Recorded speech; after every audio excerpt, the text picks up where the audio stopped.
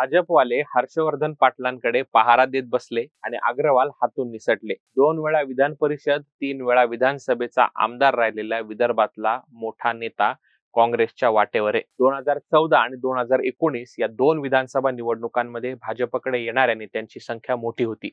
Incoming pattern होता. आता भाजपला लागलेली गळती नवी गोष्ट सांगतीये. महायुतीपेक्षा महाविकास आघाडीची ताकद वाढल्याचं हे चिन्ह आहे का?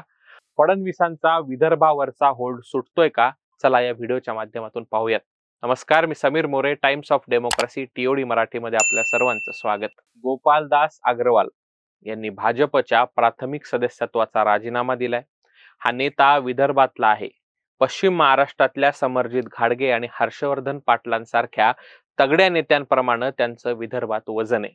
या नेत्याच्या जाण्यामुळे विदर्भात भाजपला खिंडार पडलंय.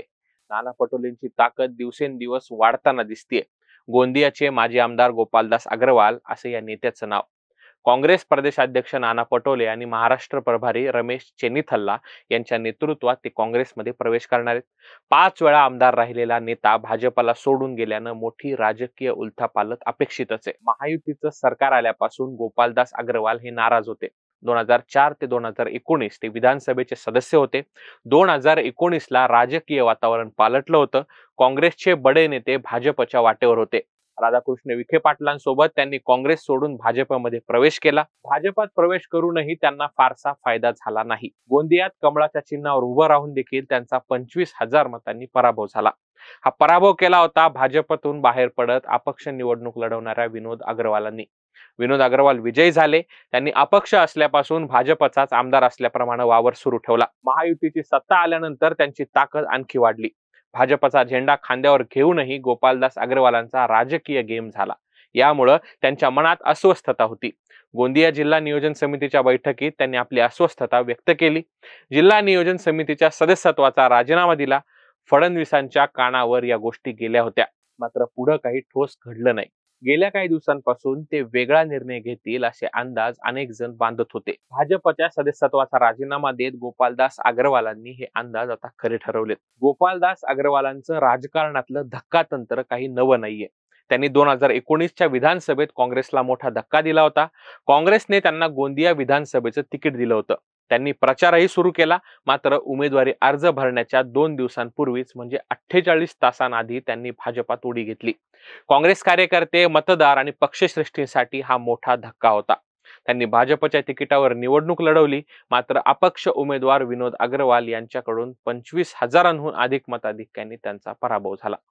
दोन हजार चोवीसच्या लोकसभा निवडणुकीचे निकालही महाराष्ट्रात भाजपच्या अपेक्षेप्रमाणे लागले नाहीत.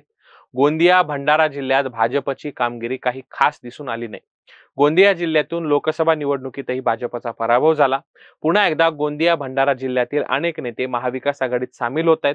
याच क्रमात गोपालदास अग्रवाल यांनीही गोंदिया विधानसभा मतदारसंघातून रिंगणात उतरण्याचं निश्चित केले काँग्रेसच्या हातावर पुन्हा नशीब आजमावण्याचा निर्णय त्यांनी घेतलाय. मात्र काँग्रेसकडून त्यांना उमेदवारी मिळेल का या बाबतीत निश्चिती नाहीये. राज्यात लोकसभा निवडणुकीत काँग्रेसने मोठी मुसंडी मारली. तेरा जागांसह काँग्रेस राज्यातला सर्वात मोठा पक्ष ठरलाय. विधानसभा निवडणुकीतही हीच जादू कायम ठेवण्यासाठीची तयारी सुरू आहे.